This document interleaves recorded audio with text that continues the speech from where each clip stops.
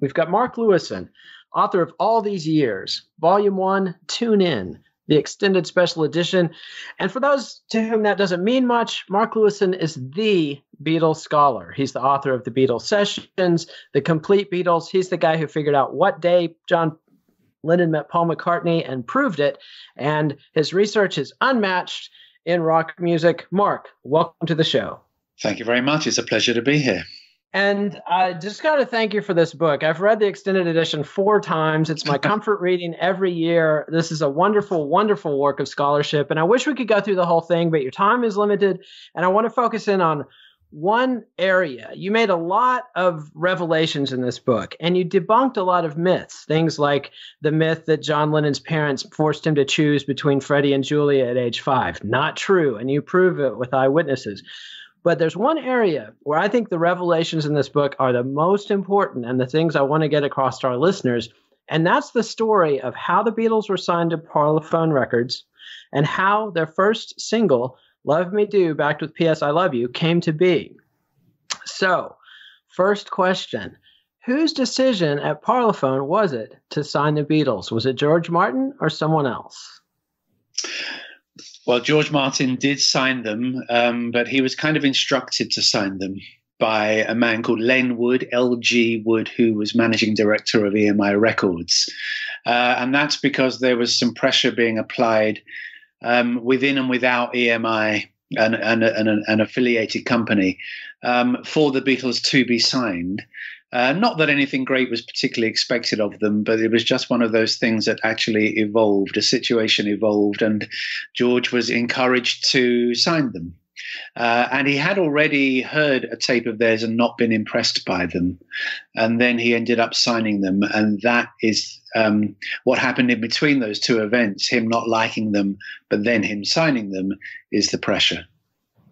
And that pressure was coming from a company called Ardmore and Beechwood, which was a publishing house owned by EMI. And mm-hmm. they wanted, they had heard Like Dreamers Do and Love of the Loved and Hello Little Girl originals, Lennon McCartney originals, and they wanted to publish them. So they were putting pressure on EMI. And George Martin was particularly vulnerable to pressure at this point for two reasons his recent contract negotiations and some personal peccadillos. Well, I wouldn't quite call them peccadillos, but I, I know what you're driving at. Um, Forgive my puritanism. the the um, the story in a nutshell is this Brian Epstein, when he became the Beatles manager, encouraged them to start performing some of the songs that John and Paul had been writing. They themselves, left to their own devices, were a little embarrassed of their own early songs and didn't play them on stage. And people who went to see the Beatles in Liverpool, in the Cavern, and other places didn't even know that they wrote songs. Uh, but Brian, when he found out about it, said that they should do them. And they added three numbers, the ones you've just mentioned, to their set list. And when they went down to London in on New Year's Day '62 to do a test for the Decca record company, they included those three songs, uh, "Like Dreamers Do," "Love of the Loved," and "Hello, Hello Little Girl." They ultimately didn't sign a contract with Decca, but Brian had some of those songs pressed up as discs in order to to kind of shop them around other companies. Uh, and he ended up in the office of music publishing company Ardmore and Beechwood. And Ardmore and Beechwood were interested in publishing them. And Brian said, Well, that's very nice, but what I really want for these boys is a recording contract. And at that point, you can have the publishing. So Ardmore and Beechwood were then joining Brian in, in hassling to get the Beatles a contract. And Ardmore and Beechwood was a fully owned company of EMI. And um, it, the, the word ended up in the ear of Len Wood that the Beatles should be signed.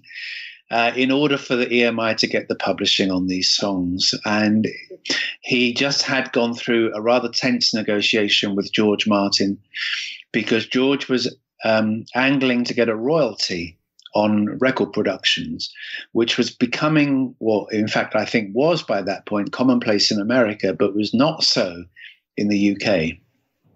And George really was reluctant to sign again another three year contract with EMI without getting a royalty. But at this time, he had quite a lot of personal expenses and couldn't afford to leave the company and branch out on his own.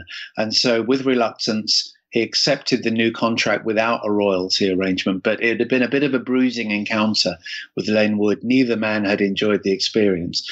Um, and the other thing you mentioned was that um, George uh, had been married in the uh, late 1940s to a Scottish woman, had a family, uh, two children, but um, by the late 1950s was in a discreet relationship with his secretary at Parlophone, and that was um, Judy Lockhart Smith.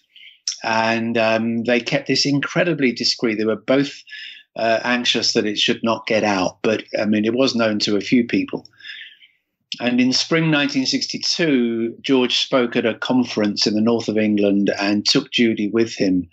And uh, word did begin to trickle out, and it reached the ears of his boss, Len Wood, who to whom that kind of behavior was really improper. Um, and therefore, for and a few other reasons besides, when he had to assign one of the in-house producers to record this act called the Beatles, or the Beatles, as George Martin thought they were called. Um, he chose George Martin, and George signed the Beatles, even though he had already rejected them, to the contract with Parlophone Records. And so then on June 6th, they go down to London for their first session with EMI. And for many years, it's been unclear whether that was an audition or whether it was a recording soundtrack, a recording session with a contracted artist. And you proved definitively it was a recording session with a contracted artist and that the Beatles were signed before they went in there. Yes, I don't know whether they believed it was a test or not. Uh, I suspect they probably did. No, actually, I really don't know. Like, no, let me think about this. Likelihood is they knew they were under contract because Brian Epstein had already been sent the contract and signed and returned it. Uh, and indeed, I think it had been signed by EMI as well before the date. So, no, they would have known it was a proper session.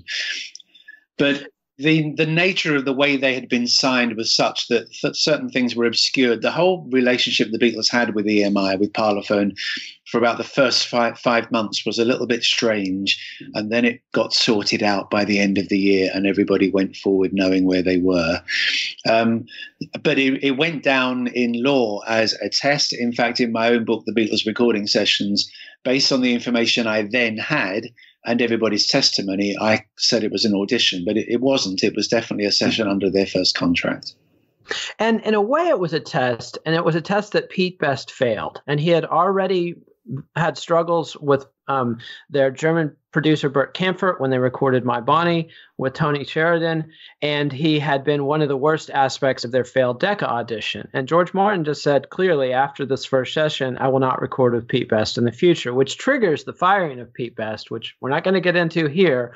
But one of the things I like about your book is it makes the case clearly and and not per, you know not, not maliciously but it just it reinforces with multiple quotes from people at the time who knew at the time that Pete Best was just not up to snuff. He might have been oh he was marginally okay for live performances but he really could only play one or two rhythms and he just could not cut it as a recording drummer. Yeah. So they bring they they they do the audition they record four tracks there none of which are declared suitable for use. They're brought back after having been sent an acetate of a demo of a song called How Do You Do It, which I think that EMI was mislabeling as How Do You Do, written by a guy whose pseudonym was Mitch Murray. And this was a pop piffle song that they did not want to record, but they did do an arrangement and take it in there. And it's long been thought that George Martin listened to their pleas to release Love Me Do rather than How Do You Do It. But that's not quite who made the decision. No, no. Um, they, as we know, the Beatles, as, and as you said, they did record it. They actually did some work on it. They they rearranged it to an extent, and they did a pretty good job on it. It you called it pop piffle, and certainly it was the kind of light white song that they didn't like to do, um, but they did do a job on it, and it could have come out. Um, John Lennon went up to see George Martin because someone had to go forward from the Beatles and beg him not to release this because they really didn't want it out as their first record. Um, and when it didn't come out, they assumed that George Martin, being the great guy that he is, had listened to their pleas uh, and, and and bowed to their view that really, you know, okay, we won't put it out then if you don't want it out. But that actually wasn't the case. George Martin was still intent on putting it out, not least because he never liked "Love Me Do," um, and as as as was explained to me later, if he didn't like it, why did he put it out? Well, he put it out because he had to put it out because he couldn't put out How Do You Do It? And that wasn't because they were asking him not to do it. It was because of various other people involved in it, not least Ardmore and Beechwood, who were expecting the publishing of this first record. After all, they caused it to happen, uh, but wouldn't have had the publishing of How Do You Do It because it was already assigned to Dick James. Um, there was Mitch Murray himself who didn't want it out. Um, when he heard How Do You Do It, he rather thought the Beatles had been taking the mickey out of his song. Uh, in the way that they had rearranged it, and um, he didn't particularly well. He's he made it quite clear that it couldn't come out.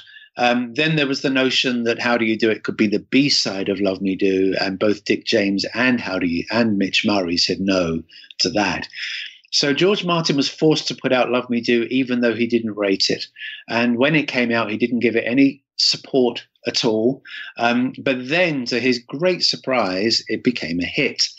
And that turned his head. And after Love Me Do, the Beatles' relationship with George Martin was transparent and mutually supportive, but with Love Me Do, it wasn't.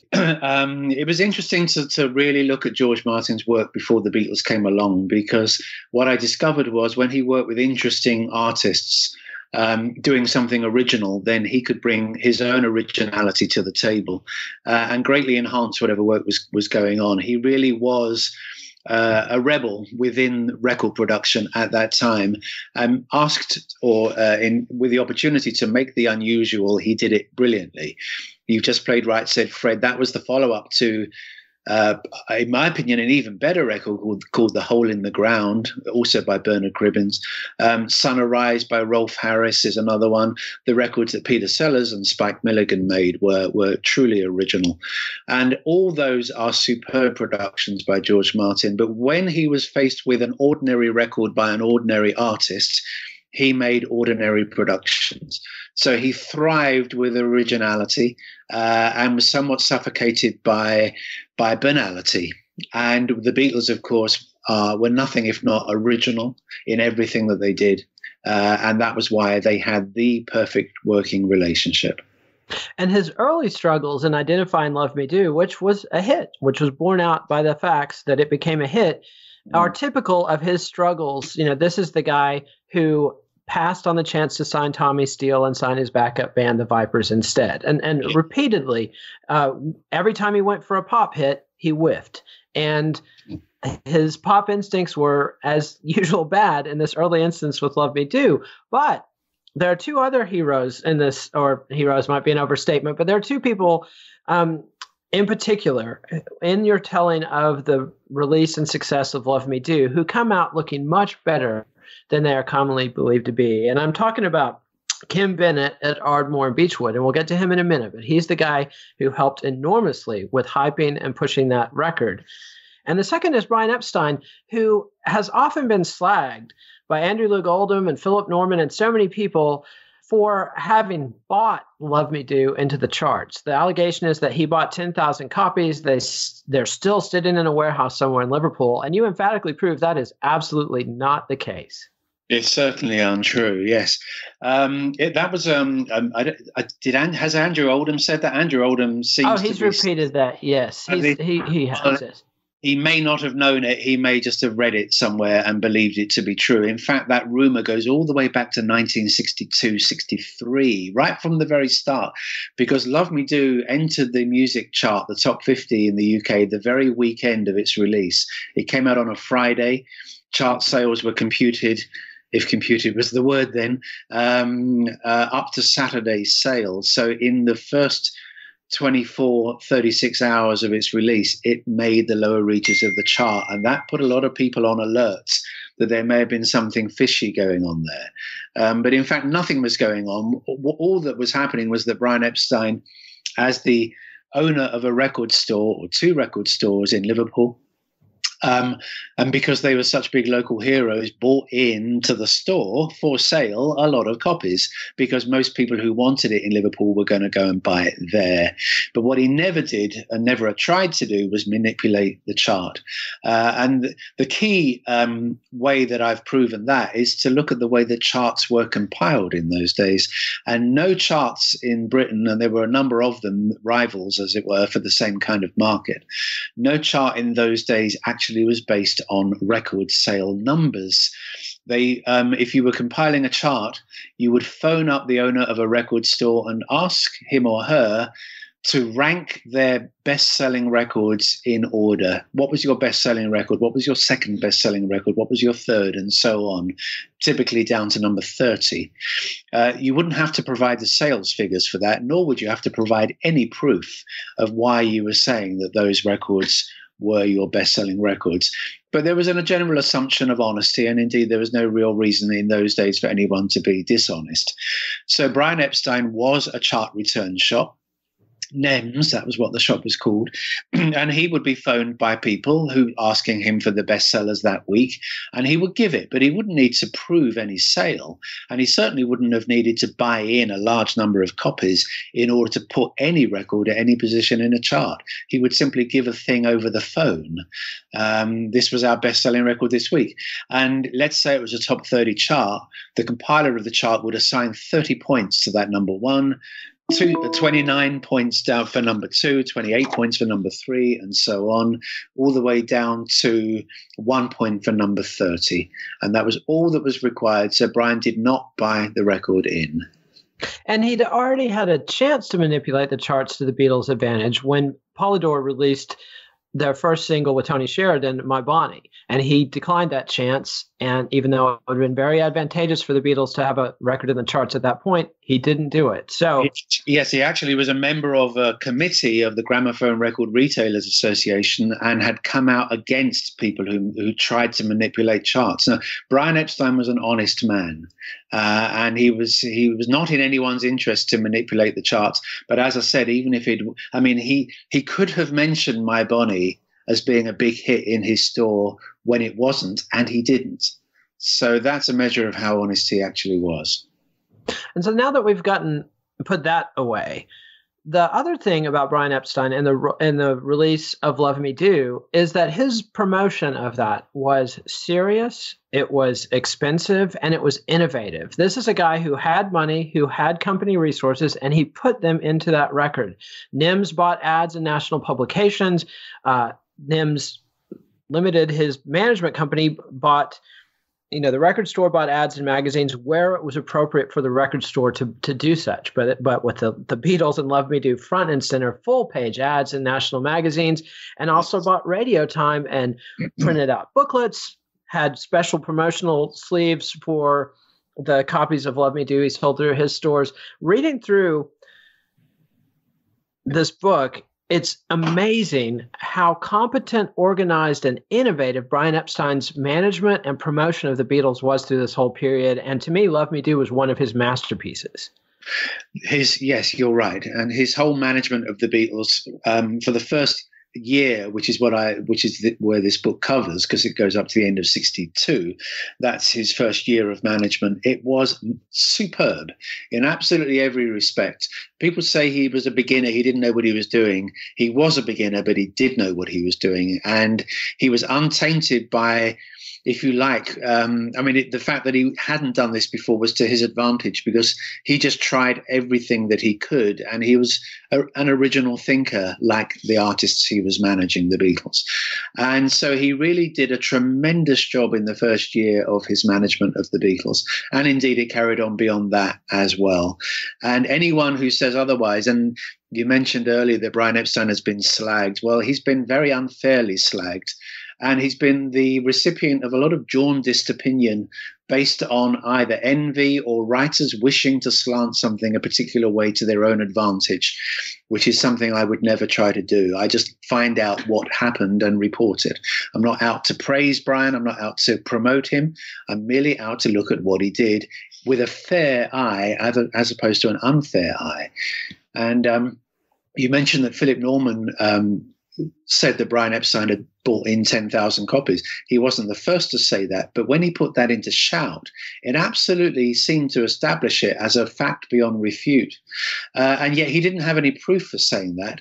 He quoted a guy called Joe Flannery in Liverpool, who whose word was not as, as solid as one might wish it to have been. And um, as I said, if it, you know, if, if any of these writers had really done the work that they could have done, then they would have seen that he didn't do it. But they didn't want to look that hard. It suited the writers to see to say that Brian had bought it in, and in some way to imply that there was something slightly crooked about him, which is a really unfair thing to do to someone who can't answer back.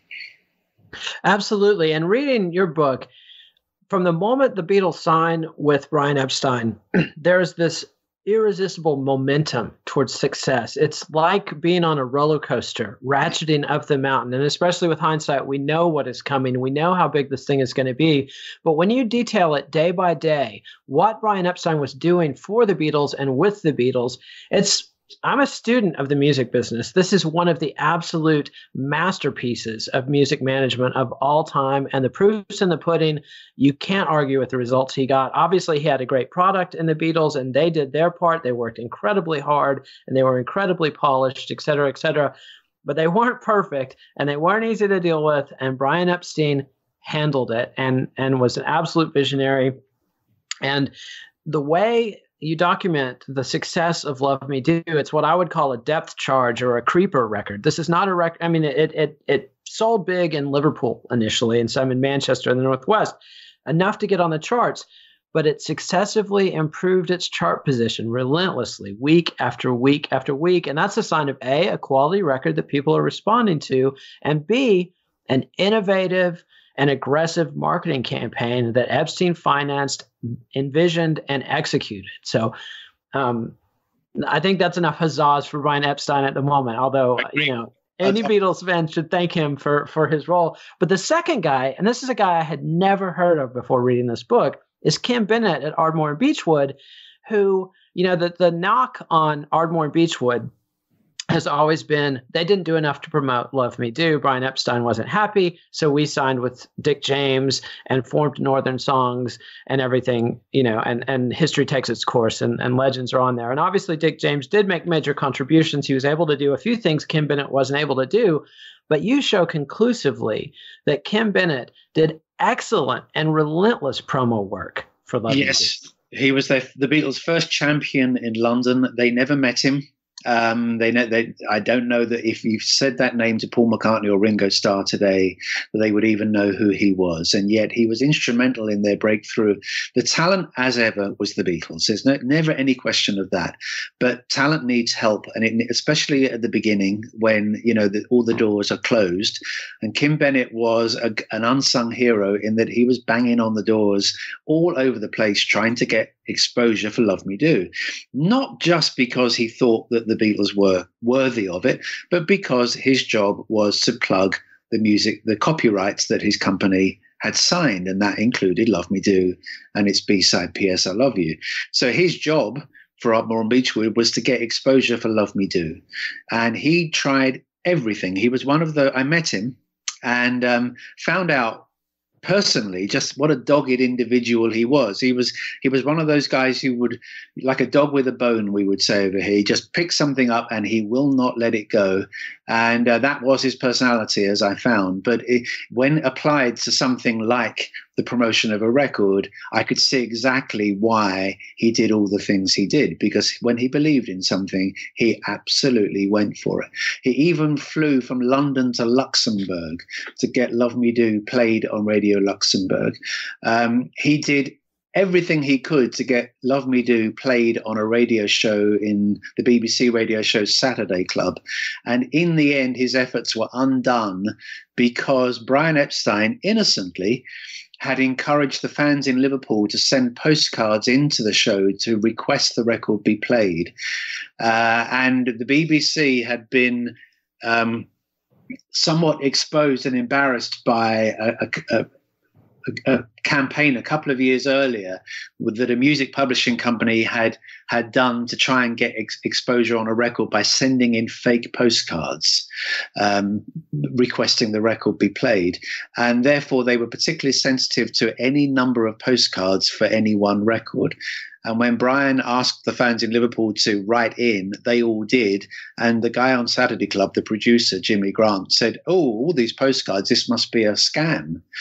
And, and Kim Bennett, who had just got the record promised for the show, had it withdrawn before broadcast, and that was to his enormous frustration. But he did do everything he could. He got the record played on television, he got it on radio, on the BBC, and on Luxembourg. And he just, you know, he was a champion for the Beatles when they didn't really have anybody else the power of the Beatles as an R&B covers band. And had they chosen to go with material like some other guy or Ray Charles What I Say or the Isley Brothers Twist and Shout, it's highly likely they would have had hits as we see from groups like Brian Poole and the Tremeloes having a big hit with Twist and Shout, Twist and Shout EP by the Beatles being a big big enough seller to get on the singles charts groups like the Swingin' Blue Jeans having a big hit with Hippy Hippy Shake, a very similar song that was also in the Beatles repertoire. They could have gone down that road. That would have been a safe play, but that's not what the Beatles were about. They wanted to push their own compositions. They wanted to do a bluesy harmonica type number, something different. And that's what they did. And one last element of the promotion of Love Me Do I want to talk about is the role of Tony Calder and his network of disco DJs, which you might not think disco existed in the 60s, but it did. Jimmy Savile and others had pioneered the practice of charging people admission to come into a venue and dance and listen to records. Most often it would be played in between performance by a live orchestra, but we're beginning to see this phenomenon of independent DJs. They're not in discos, which just means a club where people play records. And so tell us about Tony Calder and his role in promoting it to this very influential group of professionals who were usually ignored by the record business at the time. Well, Brian Epstein, as as you said earlier, he was keen to do everything he could to get this record promoted. And in addition to uh, EMI having a press office and pluggers um, who weren't working that hard for Love Me Do um, because they weren't being encouraged to by George Martin. There was also Kim Bennett. We've covered him, but Brian paid for Tony Barrow to write a press release about the Beatles, a kind of multiple page press release.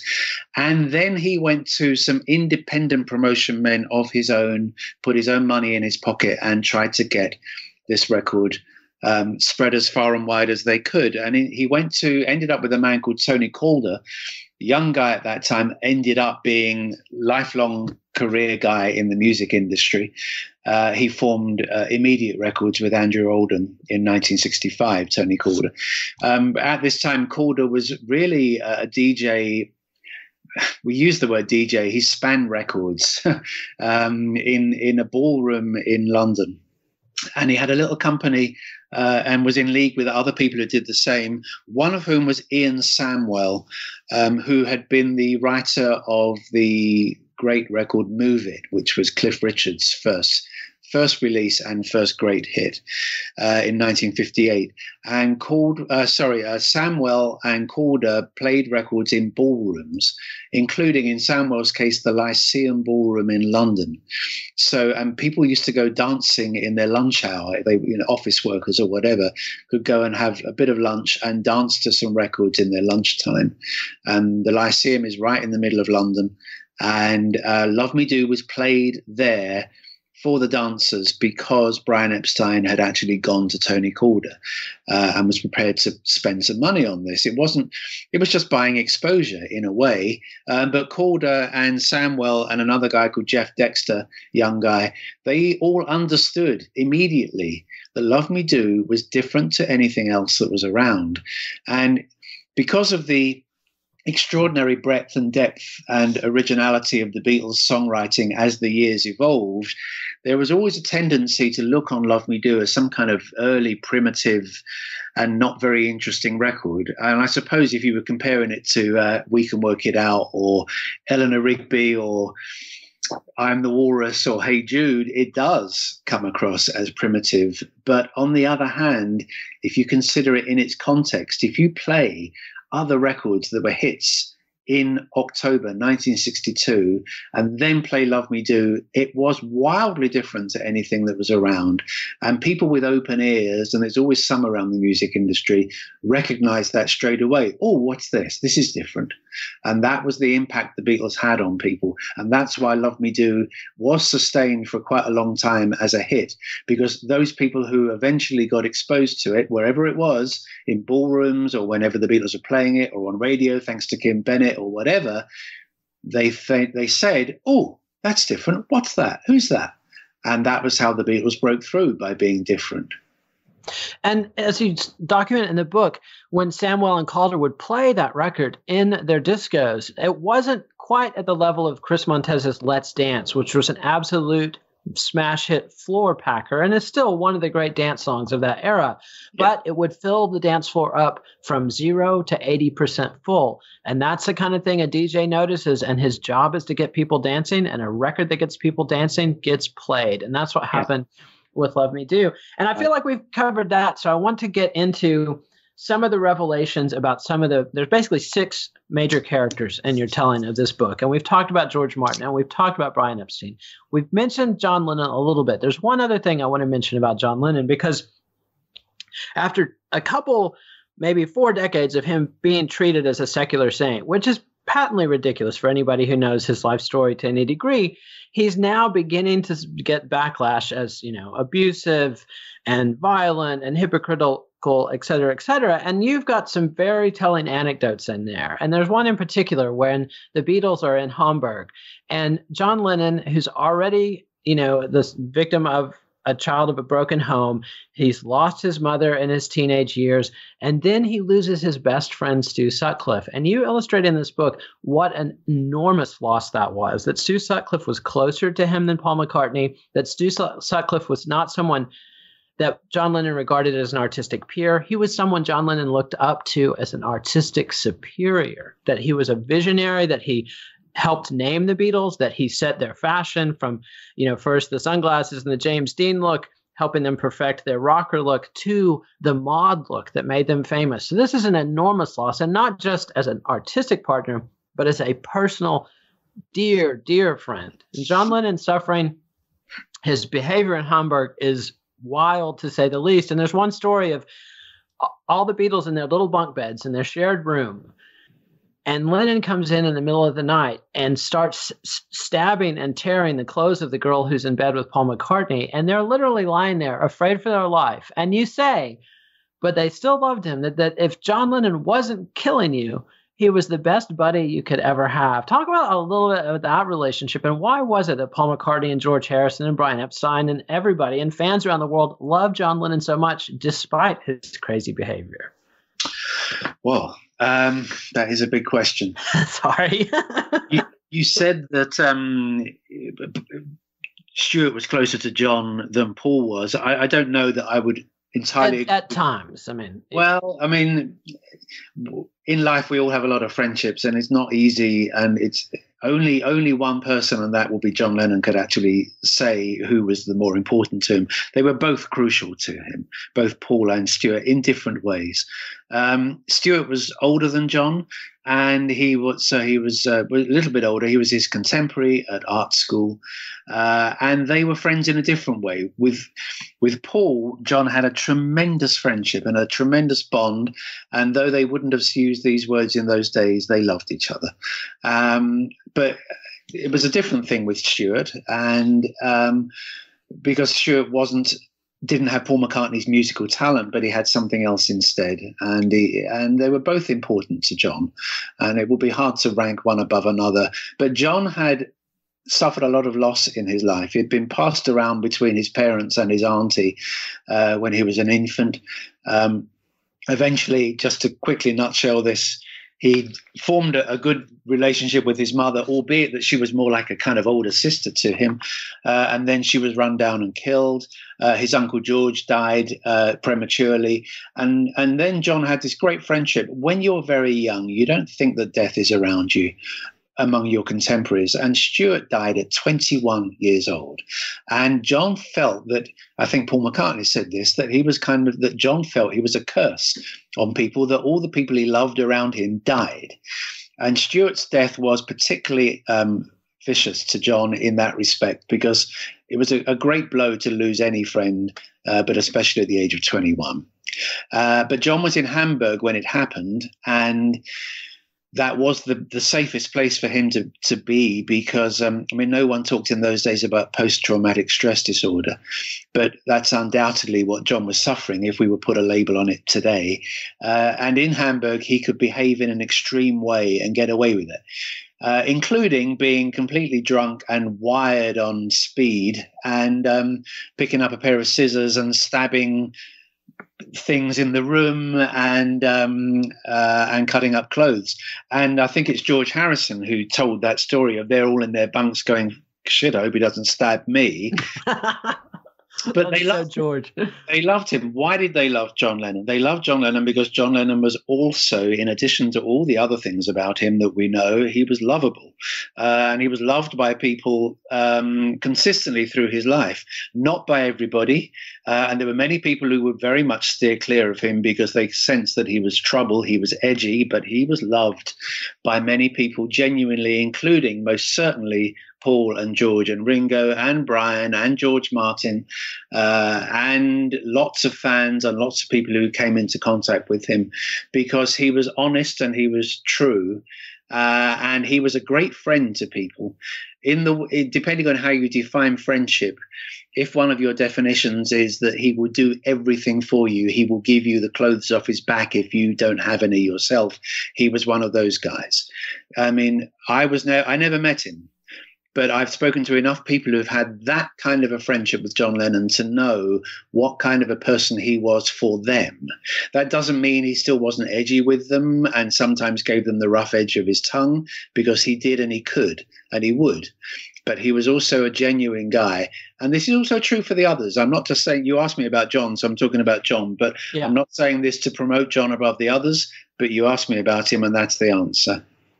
And and and there's so much more we could talk about John, but I want to get to George. And and obviously Paul is wonderful, and you say many very interesting things about Paul, particularly his resistance to Brian Epstein. But I don't think we have time to get into that because I want to get into George Harrison's role as essentially the personnel director of the Beatles from day one of joining the band as a 15 year old who's six inches shorter than John Lennon and Paul McCartney from the pictures in the book this little twerp comes in the band and immediately clears the decks and pushes the you know pushes for the firing of Eric Griffiths and and um, other Deadwood in the band, and then he's the one ultimately who brings in Ringo Starr, and later he would bring in Billy Preston.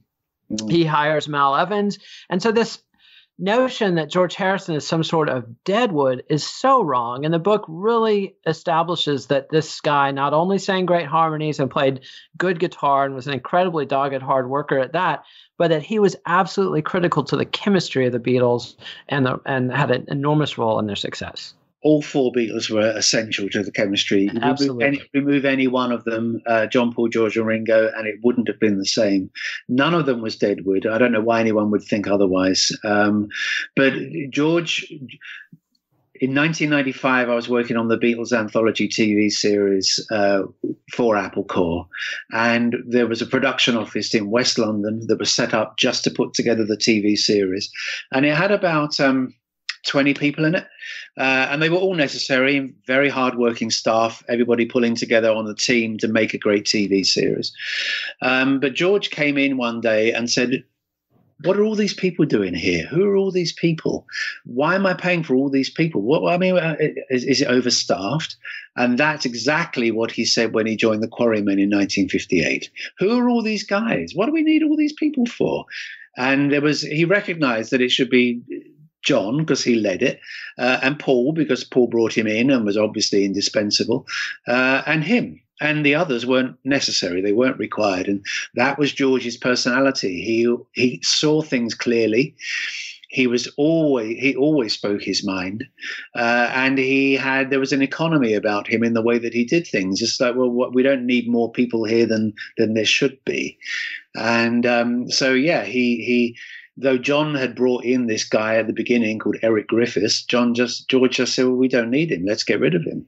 Uh, and soon enough, they were down to a, a Crucible three, called themselves Japage Three for a while as a trio. Um, and then he got Ringo in. Oh, well, Pete, of course, was there, and Pete is important, very important. But he was the one. George was the one who got Ringo in, and George always had a strong personality.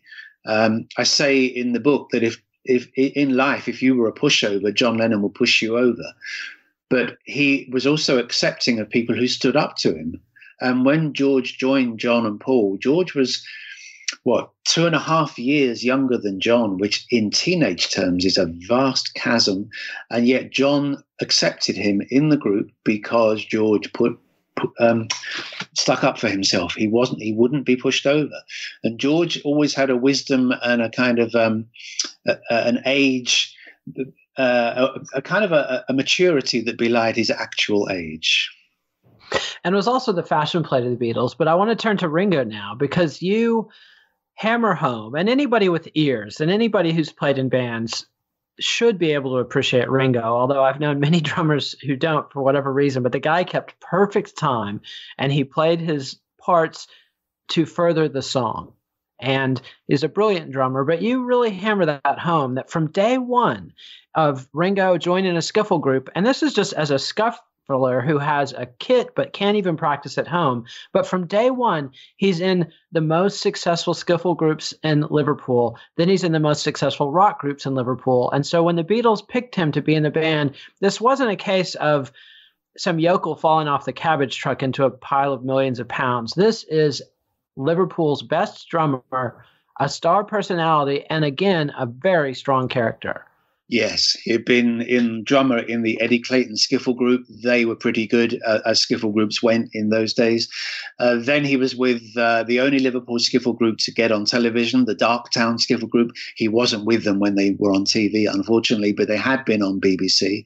Um, then, before the Beatles breakthrough, Rory Storm and the Hurricanes were reckoned to be the, the biggest and best in Liverpool. He was their drummer. And then when the Beatles eclipsed Rory, which they did quite early, um, Ringo wanted to be with them. And eventually the stars did align. Um, when you're a musician and the guy behind you on the skins is is not right, not the right fit for whatever reason, you know it. If you're on the front line, uh, and typically, similarly, when the guy behind you is the right fit, then you know that too. And when they drummed with Ringo when Pete was ill or couldn't play for whatever reason, they always felt better and they knew that they had to get rid of Pete uh, and that they wanted Ringo in his place. And Ringo was the chosen one in that respect. They said to Ringo, We want you. And it was a brilliant thinking on their part. Brian Epstein at the time couldn't see the wisdom of the decision, but he came to see it. And that also goes back to where we were at the beginning Brian and the Beatles. Brian knew from the start that he couldn't impose anything on these guys, that they had to make the key decisions themselves, but he would enable whatever their wishes were. Um, so we've talked about John and George and Ringo, but you know, we really can't not talk about Paul. I don't want to overlook Paul. Let's talk about Sir Paul. Um, as always, there's something, you know, that there's, it's no accident that Paul was the one who ended up isolated from the other three. He always had sort of, I don't know, a distance from the others in some ways, but they're all very close to each other. They're all perfect. This most successful pop phenomenon of all time could only have worked with each of the four members. Paul, in some ways, the most gifted musician, but you show in the book there's a reason he was he gravitated to John Lennon. This is a guy who repeatedly under stress when put in the spotlight struggled and he's also a guy who bridled at being told what to do and resisted the signing the uh, the Beatles signing Brian Epstein as a manager. Talk a little bit about the enigma of Paul and what would you like our readers to our listeners to come away with? Oh, gosh, mean, you've covered a lot of ground. Sorry, uh, I'm not so sure. I, I, don't know that I agree with you. In fact, I know I know that I don't agree with you about the distance between them. I think as the years went by. Um, for geographical and other reasons, then a slight rift did occur three of them living out together in Surrey, in southwest of London, and Paul living in London.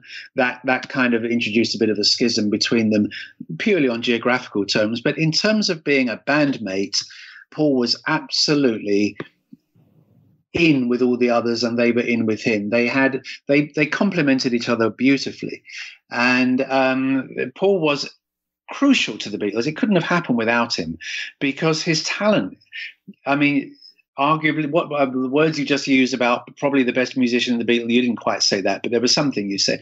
He was far and away the best musician in the Beatles. He's far and away the best musician that I've ever known. I mean, he is a genius, a musical genius. He really is. It's not a word one should bandy about lightly, but he was, and still is. And uh, his his his sense of melody, his his ability to write extraordinary songs, his his his harmony singing, his his guitar playing. He plays almost every instrument. Now he was the musical backbone of the Beatles in in that sense, in that he was original and and uh, innovative at all times.